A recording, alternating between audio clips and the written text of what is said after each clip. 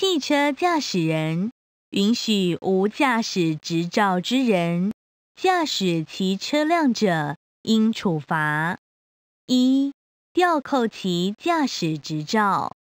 二、吊销其驾驶执照；三、吊销其车辆牌照。汽车驾驶人允许无驾驶执照之人驾驶其车辆者，应处罚：一、吊扣其驾驶执照；二、吊销其驾驶执照；三、吊销其车辆牌照。汽车驾驶人允许无驾驶执照之人驾驶其车辆者。应处罚：一、吊扣其驾驶执照；二、吊销其驾驶执照；三、吊销其车辆牌照。